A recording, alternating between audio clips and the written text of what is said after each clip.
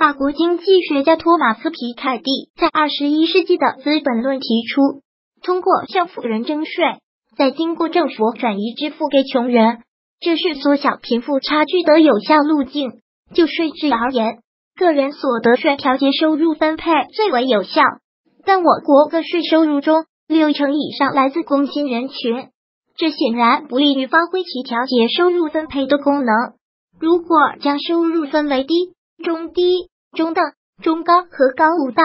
低、中低、中等收入的人群属于贫下中农，所面临的生活压力很大，不应该缴那个税。中高和高收入的人群属于富农和地主，是个税的主要纳税对象。在欧美发达国家，收入排名前百分之十的人群则承担了百分之六十以上的个税。穷人不但不需要交个税。甚至还能拿补贴。在咱们中国，有统计显示，百分之六十五的个税来自占个税缴纳群体百分之八十的中低收入者，而占个税缴纳群体百分之二十的高收入者，占领有银行存款总量百分之八十的比例，其缴纳的个税比例却不到税收收入总量的百分之十。时间差，然而并没有什么卵用。以前说好的先富带动后富。现在呢，是富人越来越富，穷人越来越穷。马静浩说：“会计，富人不可能带动穷人致富，因为富人的存在就是建立在大量穷人的基础上。只有富人多缴税，才能达到个税调节收入分配的功能。”一九八零年个人所得税法实施，个税免征额定为八百元。事实上，在相当长的时间里，个税的纳税对象。只局限于在华工作的外国人，因为那个时候老百姓的月收入很难达到八百元。二零零六年个税免征额提高到一千六百元，二零零八年调整为两千元，二零一一年再次提高到三千五百元。显然，相对于三十多年前的一九八零年的八百元，太低了。个税免征额自二零一一年调整为三千五百元后，就没再动过。目前来看，这个免征额基本上是要让全民交税的节奏。其实个税的开征不应该面向全体老百姓，而是应该面向一部分高收入的富人群体。个税理应就是一个富人税，调节的对象是高收入，不是让你把低收入调节的更低，这样才体现了基本的税收公平观。税收不应侵蚀个人的基本生存。三十多年前开征个税时。免征额为八百元，确实是针对富人的税收，因为那时平均月薪才约四十元，个税免征额约为平均月薪的二十倍。那时月薪八百元算非常稀有，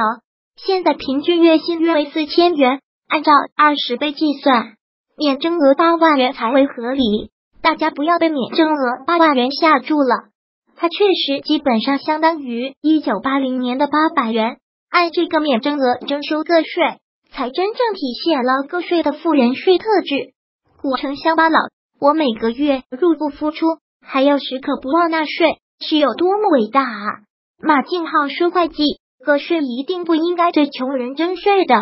不但不应该征，而且还要将征来的个税对穷人进行补贴。可以说，目前绝大多数城市的居民月均消费支出。”超过了三千五百元免征额标准，如果再加上住房、汽车支出，远远超出了这个数。平均消费支出超过三千五百元，意味着民众部分基本的消费支出被强制性征税，某种意义上个税成了穷人税，这就根本失去了个税征收的意义，彻底沦为为税而税的税。目前，中国个税为七级累进，除百分之三的最低税率外。其次为百分之十、百分之二十、百分之二十五、百分之三十、百分之三十五、百分之四十五。如果中国是高福利国家，人人都不用为自己的未来担忧，这样高的税率是没有什么问题的。关键是我国现在和将来都不具备成为高福利国家的条件，绝大部分没有实现财务自由的人群都为自己的未来生活担忧。在这种情况下，过高的税率累进，恐怕只会给人们留下避税、逃税的隐患。豆丁二零零三，我老板跟我一样拿着低薪，不用上税。马静浩说会计，确实，目前的个税高税率，让很多老板拿着低薪，却将家庭以及个人支出都打入到企业的经营成本中去。我认为，个税最高到百分之四十五的税率，至少应与企业所得税税率持平，降低到百分之二十五，这样。既难免了一些企业主钻空子，将自己的工资定得很低，也让企业中更多的优秀员工涨工资涨得起。这方面，香港的税率设置就很合理，公司利得税与个税的最高税率一致，均为百分之十六点五，基本上避免了出现部分企业老板将家庭以及个人支出的打入到企业的经营成本中去的情况。当然。我不会期望中国对个税的税率也会定得这么低。全在上海交了税也不会有荣誉感，因为是代缴。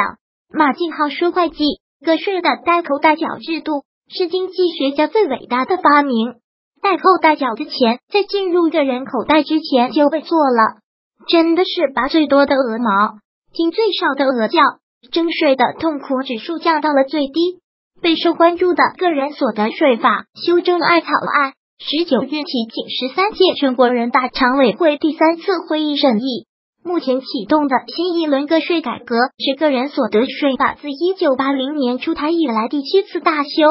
也将迎来一次根本性变革。工资薪金、劳务报酬、报酬和特许权使用费等四项劳动性所得，首次实行综合征税。个税起征点由每月三千五百元提高至每月五千元，每年六万元。首次增加子女教育支出、继续教育支出、大病医疗支出、住房贷款利息和住房租金的专项附加扣除。写文的闪灵马老师，我想问一下，比如说过去很多劳务报酬、稿费等都是统一按照百分之二十征收的，那么现在放在一起累计计算的话？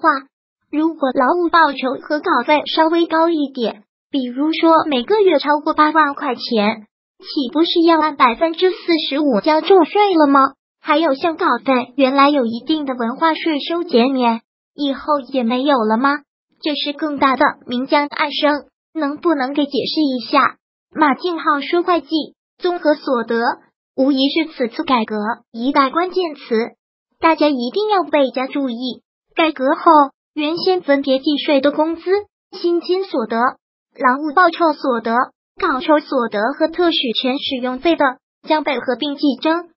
在此基础上扣除各种减除费用。按照现行个人所得税法，工资、薪金所得的基本减除费用标准为三千五百元每月；劳务报酬所得、稿酬所得、特许权使用费所得，每次收入不超过四千元的。减除费用八百元，四千元以上的减除百分之二十的费用。草案将上述综合所得的基本减除费用标准提高到每年六万元，即五千元每月。由于以前劳务报酬所得、报酬所得等税率为百分之二十，现在统一按照综合所得计税。你的担忧是很有道理的，呵呵，还是制定税法的专业人士厉害的，在现实中。所谓最优税制是不存在的，通过利益相关方的博弈，能够找到各方都能够接受的税制就很不容易了。至于个税具体如何改，其实不是最重要，最重要的是让个税回归其征税的目的，绝不能让它沦为一种穷人税。如果喜欢本视频，请分享并订阅本频道，别忘了按赞哦。